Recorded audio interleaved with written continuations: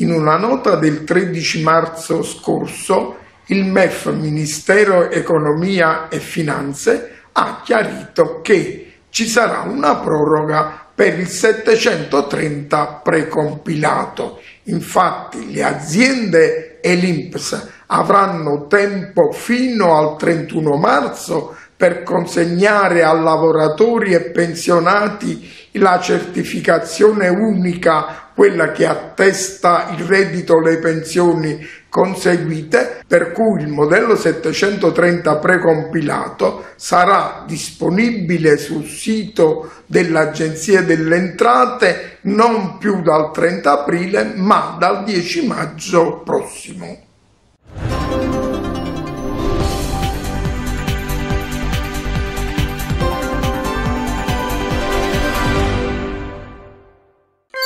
Se il video ti è piaciuto, lascia un mi piace, iscriviti al canale e clicca sulla campanella delle notifiche per restare sempre aggiornato.